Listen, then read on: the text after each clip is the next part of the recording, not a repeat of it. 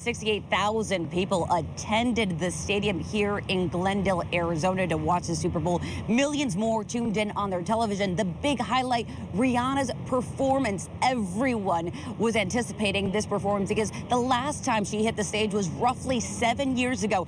Everyone pointing out on social media that moment where she kind of grazed her belly, sparking that speculation that was later confirmed that she is pregnant with her second child.